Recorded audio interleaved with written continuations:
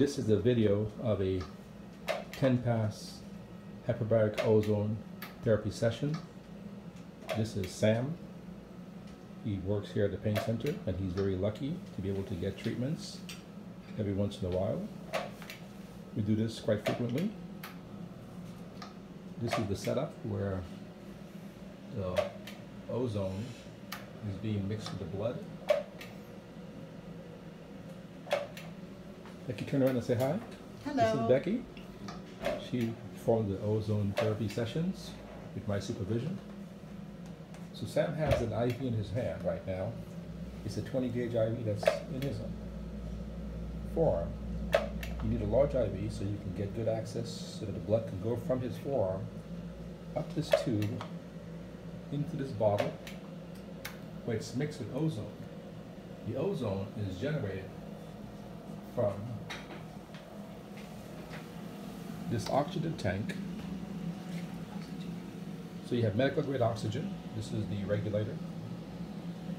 And this is the machine here, the ozone Zotzmann Ozone N2000, which you have all the features to place flushing, pumping, vacuuming. There's a lot of safety factors, which is the caution button, the reset button. This is the air block, which is another safety factor, which is very important because when you're doing a blood infusion, you want to make sure you have all the safety factors so that the patient's safety is the number one priority. Becky is now mixing, she put some heparin into the bottle, so she's now mixing the heparin with the blood that's now going back from him, Sam right here from his arm, into the IV and up into the tubing to this bottle right here that's sterile, that has the mixture of Sam's blood. And in a second you will see how the ozone is mixed because it's pumped through this cylinder right here with this knob that dials in a certain concentration of ozone that you're looking for through this tubing right here which is called infusion tubing which goes here and up into the bottle. So you hit in the bottle, you have two tubes. You have an infusion tubing, which is from the machine to give you the ozone, and you have a tube from Sam to go into the bottle to give you the blood. So this is his second pass. So we call it 10 passes because we like to have the blood from Sam go into the tubing and into the bottle. When you mix it with the ozone, you put it back into SAM, and that's considered one pass. And we like to do it between eight to 10 times, if we can. The limited factor is the blood sometimes getting clotted, and that's why we use heparin. But despite using heparin, you can still get blood clotting. So Becky right now is filling up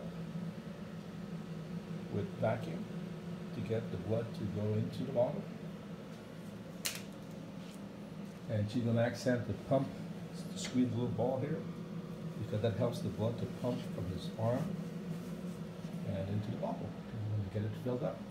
You fill it up with about 200 milliliters of blood, so he's almost to the point where it's ready to mix it with the ozone. So you can see here, you have 200 milliliters of blood, and then you have a space above it, which is where the ozone then goes into, and Becky's about to do it right now. So she gets it, she pumps the ozone and she's swirling it because she would like to make sure that the blood is mixing with the ozone very nicely.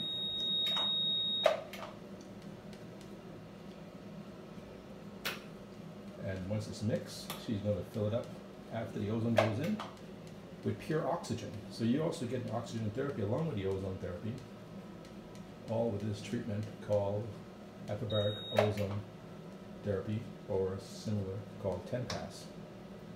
And it's really called the Lahodny Modified Technique by Dr. Robert Rowen in California. So now the blood is now going back after being mixed with the ozone. Mixed nicely. You hang it back up.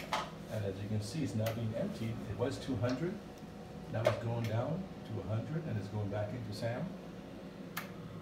And as you can see, the patient is very nicely comfortable, smiling as usual. There you go, there's a smile Sam. He has the beard because he's gonna shave it because he had that beard for March. I think it was something called bearded March, something of that nature.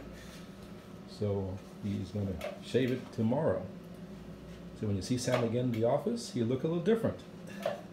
So the ozone is going back into him. And Becky is being very attentive to make sure that all the blood does not go in because you want to stop it at this point right here, which you just did. So you don't want it to go all the way through because you're going to now flush it to make sure that it's nice and open, the vein. And now she's going to change that. She's going to put the heparin syringe. She's going to give the bottle a little bit of heparin. And now that's going to get back in there and mix nicely. As it's going back into the bottle, you put the tourniquet back on. Sam is going to squeeze that ball again. The blood is now going back up into the bottle and mixing with the heparin for another pass. And that's the idea of the 10 pass technique. Patient very comfortable, have no effect at all, feel nothing, and is done very safely with numerous safety factors.